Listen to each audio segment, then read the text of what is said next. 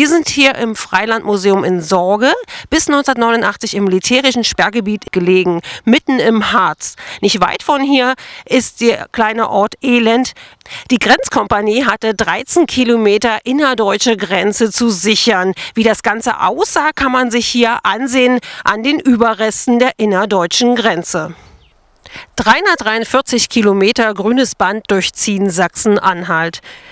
Inzwischen ist es als nationales Naturmonument ausgewiesen. Was heißt das konkret? Sowohl naturschutzfachlich schützenswerte Biotope als auch kulturhistorisch bedeutsame Objekte werden in ihrem Schutzzweck vereint. Das grüne Band verbindet Natur und historischen Erinnerungsort. Mit den Resten der Grenzanlagen ist es Zeugnis der Geschichte und zugleich Biotop mit vielen seltenen Tier- und Pflanzenarten. Genauso sind die Geschichten der Menschen aus den Gebieten der ehemaligen Grenze wichtige Zeitzeugnisse. Hier im Harz geht es immer an der ehemaligen innerdeutschen Grenze entlang, mal auf Wanderfaden, mal auf den Betonplatten des Kolonnenwegs. Der Harzer Grenzweg am Grünen Band mit seinen gut 100 Kilometern verbindet auf einzigartige Weise die Natur, Kultur und Geschichte des Harzes. So durchwandert man den Naturpark Geopark Harz-Braunschweiger Land Ostfalen und den Nationalpark Harz und erlebt unberührte Natur. Zwischen dem Grenzturm Roden, Osterwiek im Norden und dem Grenzlandmuseum Tettenborn, Bad Sachsa im Süden verläuft die abwechslungsreiche Wanderroute. Vorbei an der Ecker jahrelang ein Grenzfluss oder der Eckertalsperre, durch deren Mitte ebenfalls die Grenze verlief. Nicht zu vergessen der Brocken. Unterhalb des Wurmberges zwischen Braunlage und Elend ist der Grenzöffnungsgedenkstein zu finden. Das Freilandgrenzmuseum bei Sorge veranschaulicht das System der Grenzsicherung. Der Verein Grenzmuseum Sorge e.V. hat mit viel Engagement einen wichtigen Ort der Erinnerung geschaffen. Ein Geschichtspfad mit Informationstafeln, Reste der Grenzzäune 1 und 2, eine Grenzsäule, ein Beetturm, eine Gewässersperre und ein Erdbunker sind zu besichtigen. Anlässlich des Jubiläums 20 Jahre Mauerfall im Herbst 2009 konnte im ehemaligen Bahnhofsgebäude eine Ausstellung eröffnet werden. Dokumente erzählen vom Leben an der innerdeutschen Grenze im Bereich des Harzes.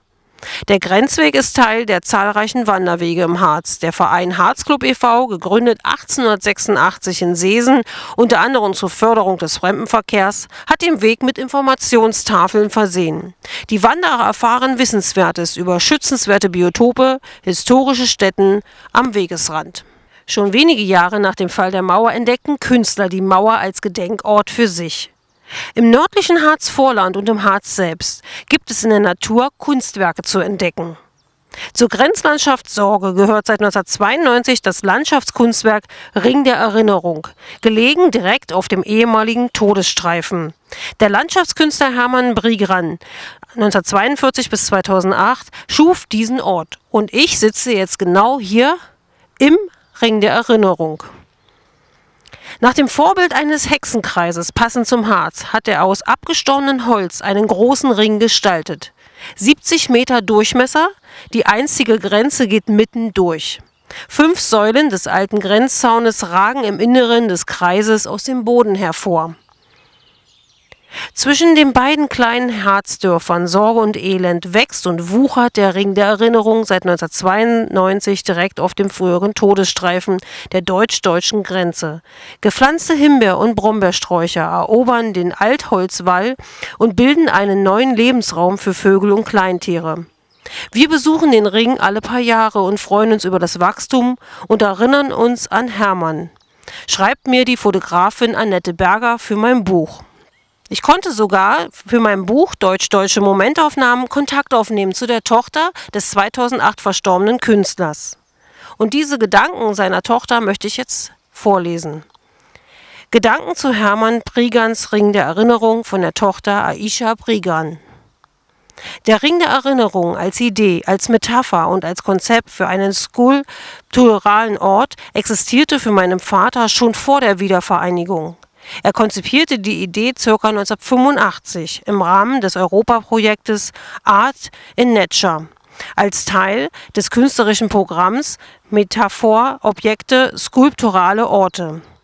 Sein künstlerischer Ansatz bestand in der Landschaftsveränderung. Natur, Umweltbewusstsein, Geschichte, Gesellschaftskritik und Wandel spielten immer eine wichtige Rolle in seiner Kunst. Dieser künstlerische Ansatz meines Vaters wuchs aus einer Kritik der Fortschrittsideologie unserer Konsum- und Wegwerfgesellschaft. Alles schneller, immer mehr Fortschritt auf Kosten aller. Und aus einer Suche nach einem neuen Naturverständnis und einer neuen Landschaftserfahrung. Im Jahr 1989, als die deutsche Wiedervereinigung absehbar war, entschied sich mein Vater, das Ringprojekt im ehemaligen deutsch-deutschen Grenzgebiet zu realisieren. Die künstlerische Idee, die er schon seit einiger Zeit mit sich trug, hatte endlich den passenden Ort gefunden. Hier kam alles zusammen. Der Kreis, die ehemalige Grenze überdeckt, steht als Symbol für die Wiedervereinigung und Naturprozesse, die langsam die Spuren der Grenzlinie überwachsen, bringen den geteilten Wald wieder zusammen. Und trotzdem erinnern Elemente, zum Beispiel die ehemaligen Grenzfehler, an die Geschichte des Ortes.